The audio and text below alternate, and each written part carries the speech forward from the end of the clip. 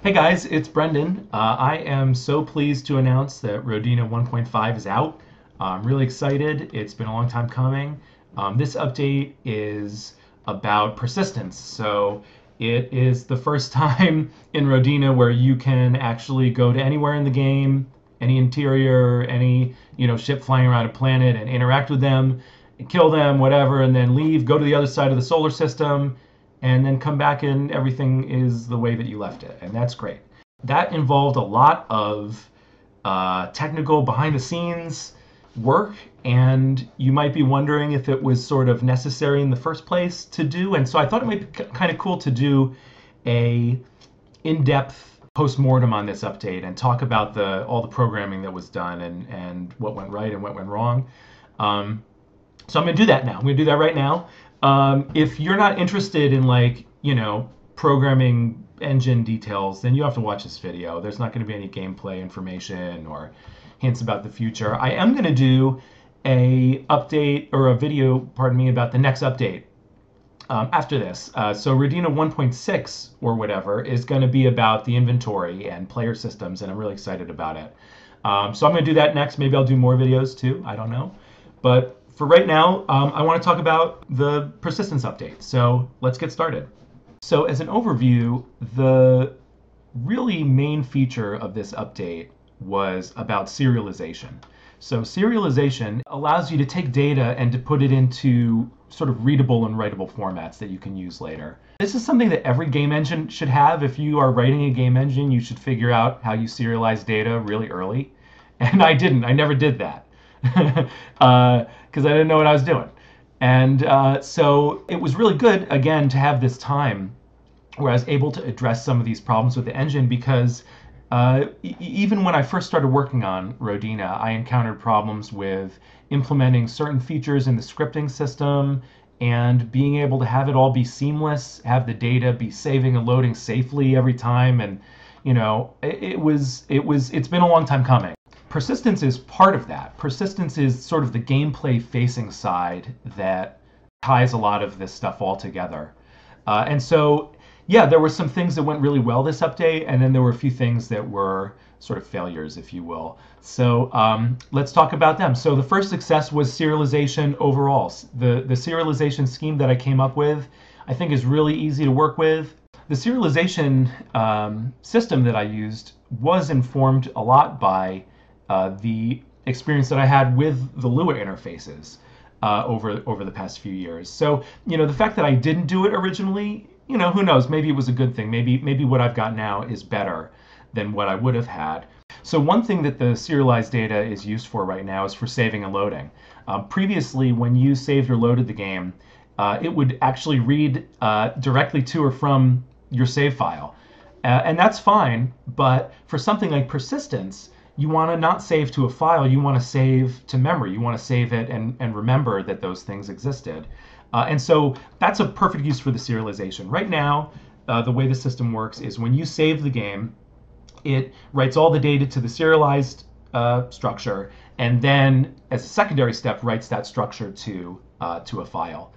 Um, so that's great, and it works fine, and it's it's lovely. But the real benefit is that now we can do the persistence. So instead of saving directly to a file or saving to a data structure that saves to a file, now when you leave an interior, it'll save all of the data to the data structure and then it'll just remember it. It'll it'll save it for later. So if you ever come back, that's a, a major benefit. Um, and it's it's the way that it always should have been. It feels good to fix things like that up. Um, which brings us to the another thing that went right, which is the storage. Um, once we had the serialized data, it, it really was really nice. This is one of those cases in programming where things kind of work like magic uh, where once you have a functioning save load with this intermediate structure, um, it becomes really sort of trivial to skip the step where you write it to a file and instead hold on to it. And um, then later, you know, it's it's almost like you're loading a save game, but there's no file to load. And, and it worked really well. Right now, every object in the game has a persistence profile that determines when it gets saved, you know, when to throw it away. When you leave an interior, every object in the interior has the opportunity to to say whether it should persist and most of them don't because we want to keep the the file size small but things like pickups, uh, you know, power ups, and of course enemies that you're fighting, they'll all they'll all save. One interesting case for the the persistent stuff are ship groups. Right now, the way that ship groups work on the planets is the lead ship is the only one that exists all the time. So you if you fly to a planet, you'll see little red dots flying around. Those are the lead ships from a particular group. And the other ships are only loaded in when you get close enough. But what happens if you get close enough? They all get created and then you fly away, but the main ship also flies away, right? Because when you come back, that group is going to be leaderless. Really, what you want is for everything to sort of stick around for a while, but after a while, everything gets reset back to the beginning. And that's so that that was kind of a, that's a, I think a, a good part of this persistence. One other thing that I was really happy with this update were was the uh, component refactor. So part of the process of getting these uh, gameplay features in, getting them to be seamless and easily integrated, is about making um, making the this the engine's component system a little more robust.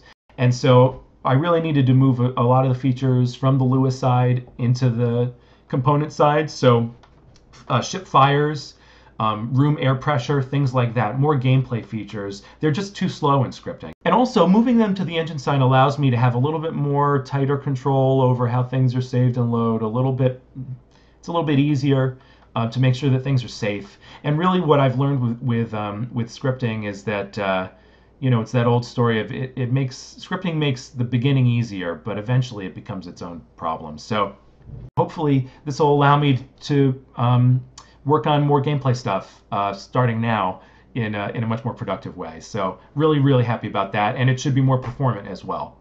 So one last part of the update that went really well was uh, the concept of the seed ID mapping.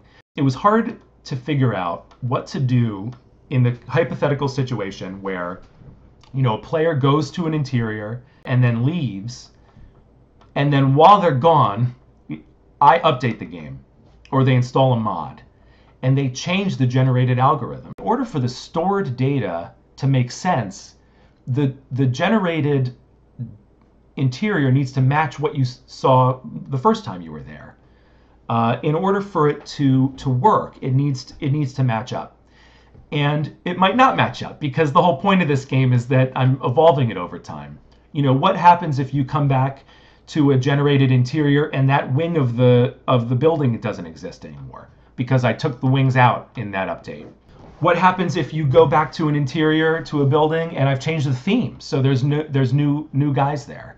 You know, that's going to happen all the time in in these game updates. So what happens when you go back and the stored data is referring to things that don't exist anymore? Or cuz here's the other possibility, maybe I updated the algorithm but I only tweaked it a little. So maybe when you go back only like one thing is different. What what do we do in that case? So what I decided was to refer to all generated interior objects, generated anything in a generated space, to refer to it by its seed value as opposed to some arbitrary ID. And this is really great because um, the generation process automatically assigns seeds to these entities. And if you change the, the generator, it'll generate different seeds. Um, if you don't change a generator, it won't generate different seeds. It'll generate the same ones that you're used to, the same, same ones that you'd seen last time you were there. So what this is, is a mapping of, you take the seed values for all of the items in your interior map, and you you correspond them to the ID number of the eventual you know entity that was created for them. And keeping that data around is really helpful because what it does is it allows me to um, to later on when you're restoring these entities, you can say like, oh, the generator has been updated and this entity doesn't exist anymore, so don't even bother restoring it. Or you can say, you know, this item doesn't exist in the map, but because we don't have a seed mapping for it, we know that they were brought in from outside. It's like if you take your um, your grav bike and you park it in your ship. You don't want later on your ship to say, "Hey, we don't recognize this grav bike." you want it to know that we don't know anything about that. So it looks to the seed value, the seed mapping, to to to see if it if it knows about it. Um, and that's really great because it means that if if you return to an interior and it's changed, then we can deal with it. But if it's only changed a little bit, then we only deal with the part that's changed. And if it hasn't changed at all, you don't deal with that part at all. I was afraid we were going to have to just throw all this data away every time we uh, every time I updated the game, and it would really defeat the purpose of the of the persistence. The main feature of this update was that everything should stay forever, and, and that really should should include updates to the game. So I'm really happy with how that turned out. Okay, unfortunately, not everything went well this update. Uh, there were two things that I had to give up on because they were taking too long, and this, you know, this update needed to get wrapped up. Um, the first was I really wanted to create a unified creation, like entity creation pathway. Um, right now, like a lot of the game, um, the way entities are created relies too much on the scripting system. Uh, and it doesn't play that well with the new serialization stuff or the old save load stuff. And, uh, and it's just not good enough. I wanted it to be a little more data driven. The scripts should give the engine a little data package describing what the new entity is.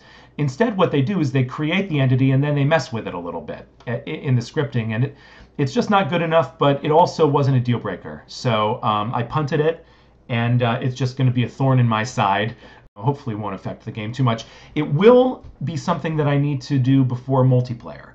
So um, it may be something that I end up addressing, but um, but not right now.